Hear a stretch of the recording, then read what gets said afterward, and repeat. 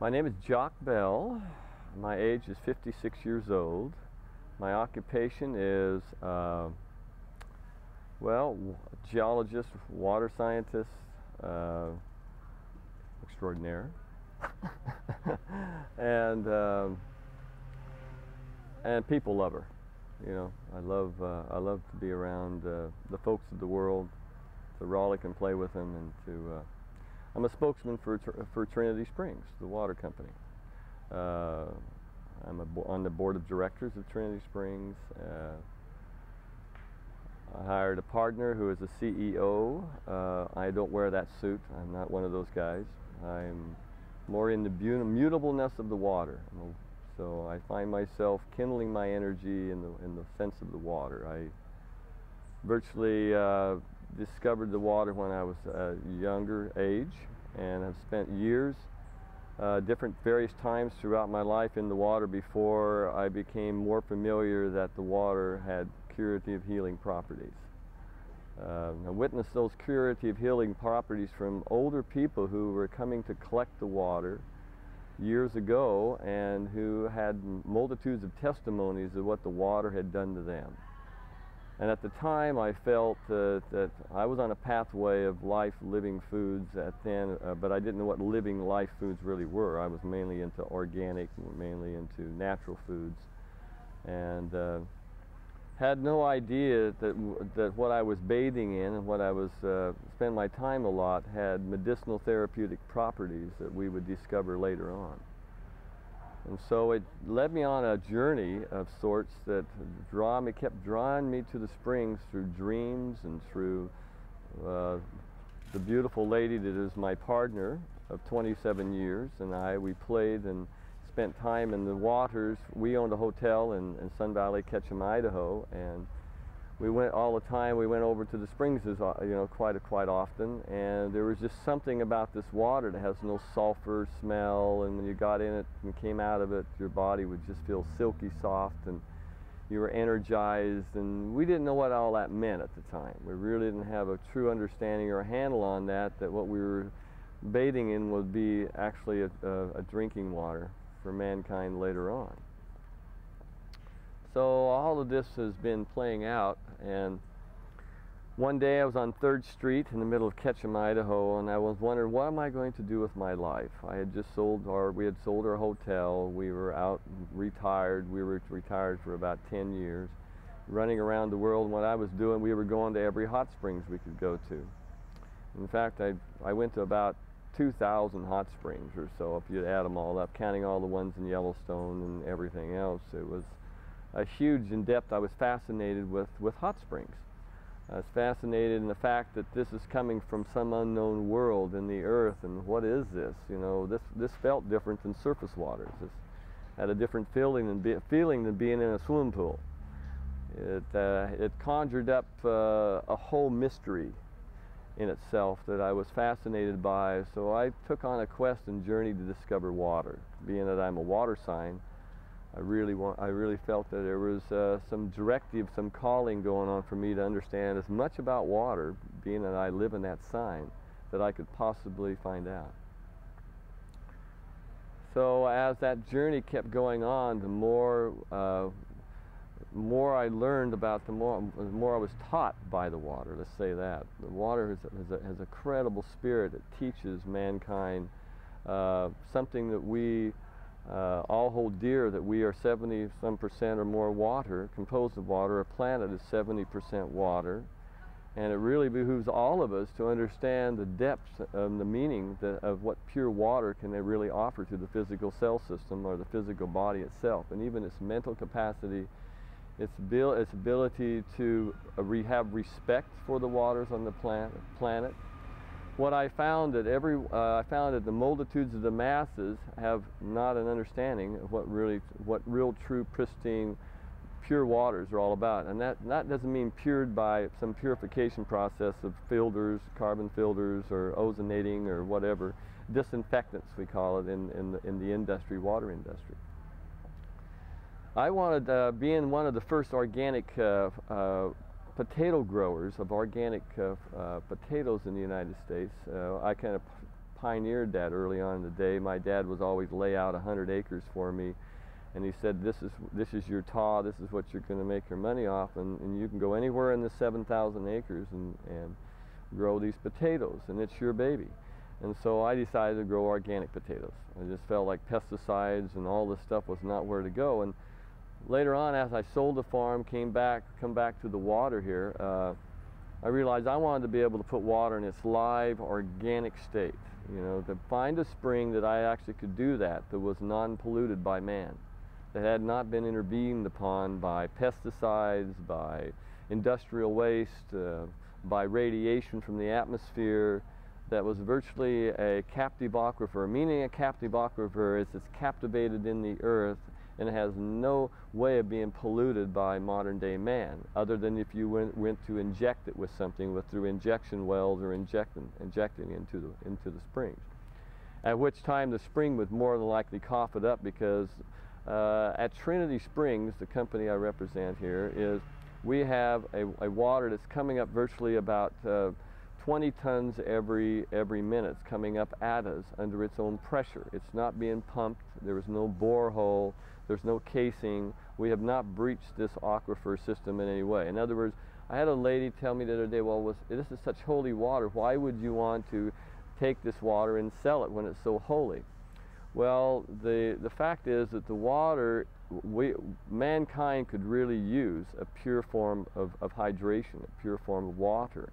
And I felt really compelled that as a steward of the water, that if we could actually coddle and nurture and not shock or wound this water and gently place this water into a bottle in the most, uh, you know, most uh, conscious form, we could do that. Uh, we would be offering something that has not been done in the industry structured water to me means a water that is literally uh, in the earth uh, from a hydrogen bonding from hydrogen and oxygen state. It had a long time to get to know itself on a molecular level, meaning that it has a bonding relationship with all the minerals. And what has happened, it has built a structure based on, on several of the key elements in the water, one of them being silica. Silica, by the way, is I call the, the conscious, the most conscious uh, element in the periodic table. It's a water that always tries to find its own kind. It rounds them all up. It does this incredible magical work in, in all phases of the human body. Uh, if it wasn't for silica or SiO2 in your body, not one neurotransmitter or synaptical system or, or any conscious mechanism your body would actually work. It's like a computer banking system of sorts, and your, your whole mental systems would be just shut down. In other words, we based silica SiO2, uh, we've, we've actually created a computer chip and, and all the information, the very quartz uh, crystal, radio, uh, everything, our whole information age has been all based around silica, SiO2. And so uh, when we bring in a structured or, or a microhydrant structured water, now microhydrant means that the molecular state of that water is dissolved solids. Now that's quote TDSs, total dissolved solids in water. That means the mineral content of the water uh, in, uh, is they, they, evaluate that and they tell you how many minerals you got in water by how many total dissolved solids you have in your water. Now total dissolved solids is a basic term and now we can go and elaborate a little more of, uh, of sizeness of particulate dissolved solids and what size are they in. Now Trinity Springs, for instance, and there are several other springs we have identified, a few others in the world, that have been really superheated beyond uh, at 300 degrees or plus 300 degrees in the earth. These, uh, these spring waters literally um, have gotten, uh, gone down through the, through the lithosphere and got into these aquifers, these, these recharge zones, and been recharged back up and as they come back up, they literally, some of these come up through virtually quartz crystals. Now these quartz crystals literally are being created by the waters themselves. In other words, uh, through thousands of years, the water's been precipitating out of solution and actually forming these crystals as a protective barrier. So nothing can come into the water, nothing can impregnate the water, nothing can interfere with the water from the surface of the earth. In other words, we have areas in the world that have these fault conduit systems or fractures in the earth or fissures in the earth that have had the, have led the entryway for these waters to come up to the surface from some eons ago from very old, time periods. And what happens when these waters walk down to the lithosphere or walk down to the strata, they literally have, uh, it takes 10 times or longer for them to get down, and so therefore they get filtered, and then they run through a meandering, a vorticey, vortexing action that literally inscripts them and codifies them with energy. Then as they pass for, back up after being superheated under pressure, they further again pass through a quartz crystal body. Well now this quartz crystal body has taken on a different form. It's not just basic quartz, it is the crystals that the water is literally creating to protect the, the source of the water from any invasion of any, any other sources. So what microclustered stru structured water is that structure that builds within the water that all of the harmonic, har harmonics or the harmony of all these minerals come together in a cluster or in a form or in a format or in a, an embodiment as a literally, uh, I call it a spiritual living spiritual thing that is in living with life force living energy because it's come in contact with all these anomalies of different magnetic systems. It's walked through all of these charge values. By the way, when you pass water through billions of crystals, you literally, when it passes across these crystals, you squeeze off a piezoelectric effect that literally is charged within the silica itself as it's transported up through this medium. And what happens here, it literally gets codified, it gets keep, keeps getting more charged and more charged and more organized. So what you have is you have a transmitter, transponder, receiver system. You have literally a system at work, not some just free-floating, chaotic, juvenile ions. In other words, ionic fluids or ionic states is, is, is, what water is in. It's an ionic medium. But these different ionic mediums have different mass ionic states. They have different density states. So when you superheat water, what happens with this, you turn the water into a term we, we, we, we call metamorphic waters. They've been metamorphized by the earth itself. And through this metamorphism, the bonding relations get squeezed way down to smaller sizes. So what you have, you have the purest form of oxygen and hydrogen you can actually uh, partake of in your body. This is oxygen that has not been titrated with modern day atmosphere in the form of modern day carbon, in the form of, of oxides of carbon monoxide, carbon dioxide, all your oxide radicals that literally attach themselves to all water molecules, making that H2O and that oxygen, not just one oxygen atom, but a, a, cluster of oxygen atoms that literally represents 12, 18, as high as huge amounts of, of, of, of oxygen. Well, there's this term been termed out here, antioxidants. Now, we don't use this because uh, a lot, but, but antioxidants are all based around redox potential or oxidation reduction. It's the biggest study going on out there. I know that's a lot of terminology to be put in front of the public out here, but billions of dollars are being spent on and redox potential oxidation reduction because what you really want to do in the physical body, you want to take on protons to donate electrons.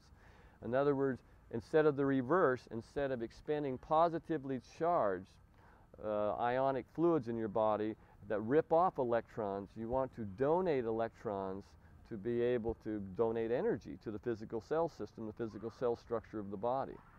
Now it's a very complex system. I mean, it's very hard to simplify it to kiss it, so to speak, because without going in the redox potential or oxidation reduction, there's an organization that goes on with, with, with, within molecular states, which we uh, coin is an expression uh, literally organized water or, or microhydrant structured water. Structured water is, is literally a water that's very organized, that really has a mission in life. It has a directive. It has a guidance principle. It has a consciousness. It has, by the way, water has memory. Water, you know, that has a long time to get to know itself is literally been, been you can actually, we now find you can actually program information into these waters on a molecular level. You can actually, these waters have literally ability to memorize things. If you keep the language very simple and start working on it. Uh, what I will tell you, we came out as a mineral dietary supplement under the Dietary Health and Education Act, under DSHEA. The only way you can put water in its live, organic kosher certified, Naturilicus Heidelwasser certified state, is to literally become, we, only way we could get around and skirt the FDA regulations was to be a real uh, mineral dietary supplement. See, here's a true spring water. Trinity Springs is a true spring water that can't say it's a true spring water unless it processes itself under the regular, normal FDA regulations. They, they look at everything as disinfectants. Uh, only good water is a dead water. And a, good, and a dead water means that you, you got to make sure there's no bacteria, no anything in it that can be harmful. Uh, Trinity Springs comes up uh, out, out of the earth with no contaminants involved. No man-made contaminants, no volatile organics, no pesticide residues, zero. So we can bottle Trinity in its live organic state. In fact, we actually sanitize and sterilize with this water. We have a heat exchanger that raises the temperature to 212, and we actually sanitize and sterilize with this water.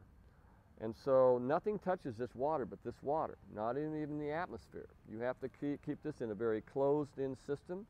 We have a HEPA clean room. It's surgical quality, computer chip quality that goes in two locked doors. You have to come in with a whole suit that literally is all sanitized. So there's no mold spores, no fungus, nothing gets in this clean room. And so what we've gone through, we've got literally hundreds of uh, quality control procedures that they have not even written up in any manuals because we had to take this to we had to take this to another level of purity to be able to put water in its live organic state. In fact, we've been given a, an honor of, a, of the first Naturilicus Heidelwasser water in the United States. Well, Naturilicus Heidelwasser isn't something to really take lightly. In European communities, that's the highest acclaim or highest award you can be given water. That's water that's whole, unbroken, in and of itself, that's been untouched by man in any way.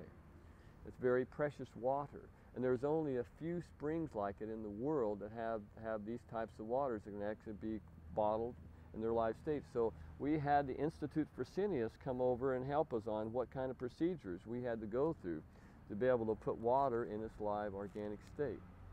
It was quite accomplishment. Now there is a mineral usage on this because all dietary mineral supplements out here have to have a usage. Now this is a lot of bureaucratic, you know, jargon and stuff that we had to comply with to be able to be a mineral dietary supplement. We had to go with all of our lawyers and all of our scientists and stuff to Washington D.C. to be able to be exempt from any processing, and that was a long, long process that we've had had to go through as a company to get there. And this, by the way, this container is uh, Ball, who people make the glass jars. This, uh, this literally is a, a, a, totally inert barrier. This will not bleed off any plasticizers, no plastics, uh, all the way to trillions. We've tested this water to trillions, and, the, uh, and, and we have a whole document you can get on our website of www.trinitysprings.com where you'll find all that material at that actually states all of the water consciousness and all the accumulation of information we've been gaining on water for 10 years. Well, uh, the Raw Foods uh, Conference here, uh, what it's all about to me, it's about the people, the look and the spirit of the people. Uh, what I've seen, uh, I have ability to see energies around people, and and boy, did I see a tremendous abundance of energy and focus and directive and and open to change and and and life lifestyle uh, advancements in their life uh, to way beyond this you'll find the most harmonious people in this setting. That's what I found. I found this to be quite a network of, of exalted ones on the planet. Not some exalted that fact we're better than anybody. It's the fact that they have a mission to to help themselves and help the health issues that a lot of these people have come through a lot of challenges from a health standpoint and walk through the doorway of, of despair and and, and bad health and on and on to get to this, uh, to this place, uh, which is very meaningful for all of us. I, I felt uh, I, had a, I, I gained a kinship. It's like I've known these people for all my life, and, and now I finally get to meet them. And it was, it's a really, it's a, it's a precious place where we all get to come together. Uh, it's like a, a soul grouping of sorts of, of spirits that, that have a commonality, a common ground of, of understanding. We come through the chlorophyllic kingdom. We come through the green, through that, that mid-tonation, that what I call the chromotonation system of life, where you come to the, to mid-terms of your existence realizing the most powerful thing on the planet, planet is our plants for our life force living energy. And you see it in the people. It's very beautiful.